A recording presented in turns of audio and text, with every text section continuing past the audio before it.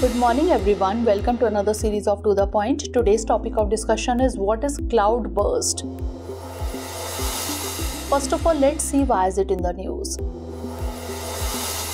Recently, over 50 people have died within 24 hours in incidents related to heavy rains in Himachal Pradesh, and reports of cloud burst have also emerged from the state. Now, let's understand what is a cloud burst.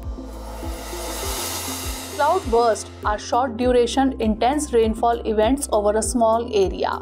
Not all instances of very heavy rainfall, however, are cloud burst. A cloud burst has a very specific definition.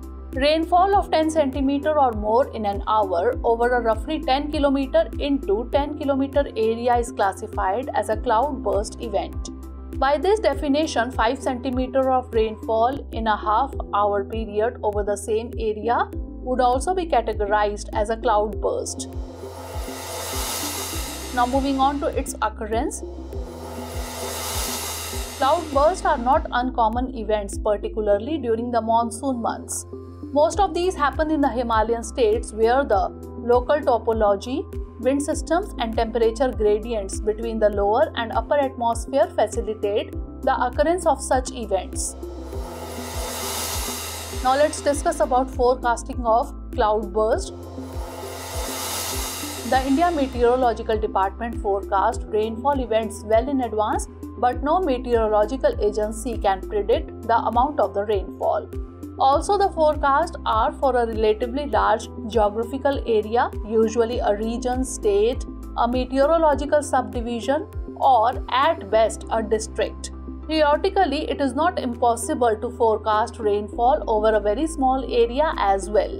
It will require a very dense network of weather instruments and computing capabilities that seem unfeasible with current technologies.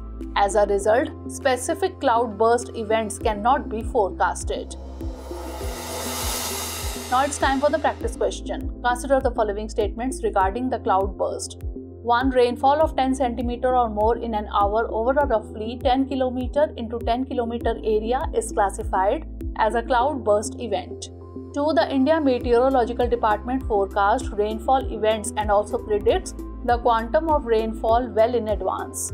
Which of the statements given above is or are correct? 1 only, 2 only, both 1 and 2 or neither 1 nor 2? Send the answer of this question in the comment section. Stay tuned for the next episode. Thanks for watching. Have a great day.